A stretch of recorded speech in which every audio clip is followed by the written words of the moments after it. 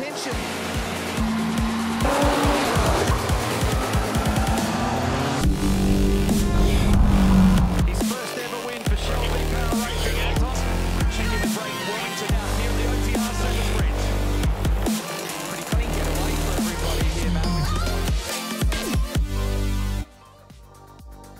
G'day guys, it's Myles from Supashock here. Welcome back to part two of our mini series. We're here today and we're going to be installing the Supashock Excel controlled suspension. We're at the Supashock machine shop and we've got a flat bit of ground. We're replicating your garage and we're going to show you just how easy it is to install this kit with just some basic hand tools.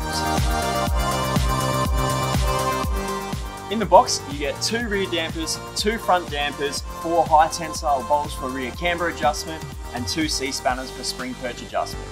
In terms of tools for the install, we have a socket set, we have Allen keys, we have a torque wrench, a ratchet, and a breaker bar. It might also be wise to grab some spanners as well. To jack the car up, we've obviously got the trolley jack you can see behind me, and you can either use two or four jack stands. To start off, we'll be loosening the wheel nuts, so you need your vehicle in gear, handbrake on, and you need your breaker bar. As always, safety is paramount when we're lifting a car to work on it. Make sure you've got a rated jack and jack stands, your wheels that are touching the ground are chopped, and you're lifting from a sensible jacking point. We're jacking from the front cross member just behind the front tow point here.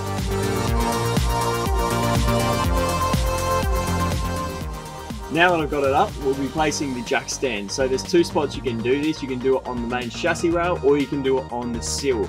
I'd be careful about doing the sill though, more often than not, especially on these cars, you catch them rounded off. So we're gonna opt for the chassis option.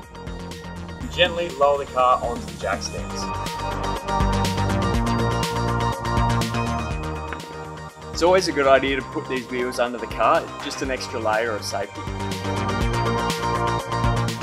To remove the old suspension, the first thing you want to do is remove any existing brake line bracketry. You'll then want to take on the lower strut foot bolts. We're going to be supporting the hub to avoid any overstretching of the CVs when the existing coilover is removed. The final step for removing the existing coilovers is just to remove the top three bolts. So when removing parts from cars, even if we're not going to be putting them back in, it's just good standard practice to put all of your nuts and bolts back on where they belong and uh, just keep your work area nice and tight. When it comes to installing the new Supashock dampers in your Excel, the good news is Supashock has done a lot of the hard work for you already. The spring perches have been preset for you and the damping setting has been set to 6 both front and rear, which is what we recommend. When we're talking about a damper setting of 6, what we mean is the damper has been wound all the way clockwise to its hardest setting. It then gets wound back 6 detents and you can feel them as physical clicks through your fingers. We do this because it's the most reliable data.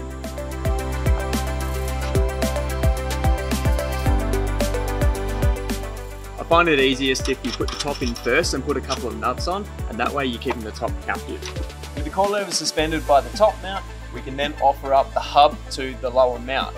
Now we're using the existing bolts and that's perfectly okay to do so for the fronts, provided you've done an inspection and they're all in good condition.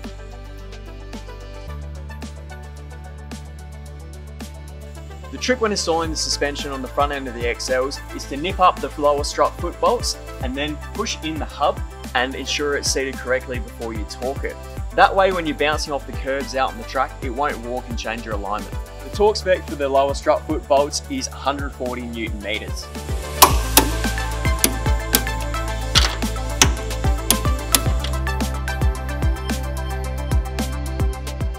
Now we've completed the suspension install on the front end, it's time to tackle the rear. As you can see, we've lifted up the rear end from the rear cross member and it's important to note at this point that we want to space those jack stands apart as far as we can within reason. So we've chosen to place the jack stands just in front of the trailing arms on a flat piece of the chassis.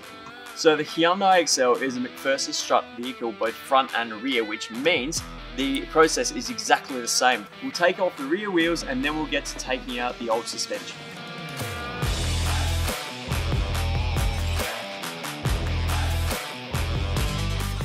Much like the front, I like to do exactly the same thing when I'm installing the rears. I'll suspend it with a couple of nuts from the top and then I'll go ahead and bolt in the bottom foot. This is where the rear differs a little bit from the front in that we're adjusting camber from the strut foot instead of the strut top. What I like to do is nip up the top bolts and then we're going to torque the bottom bolt to 40 newton meters and just nip up the rear strut foot bolt. What that allows us to do is adjust the camber angle without it slipping back and forth. If you've got a camber gauge or a digital angle gauge, now's the time to get that out. And if you don't have one, I'd highly suggest investing in one, but there are alternative methods. You can use a spirit level and do a little bit of trigonometry, or you can download something like a trusty phone app and get you a bit of a ballpark figure. So we're gonna do that today. We're gonna be aiming for negative three degrees of camber, and once we've achieved that target, we're gonna be torquing up the bolts to 160 newton meters. In the next video, we'll show you how to fine tune the wheel alignment.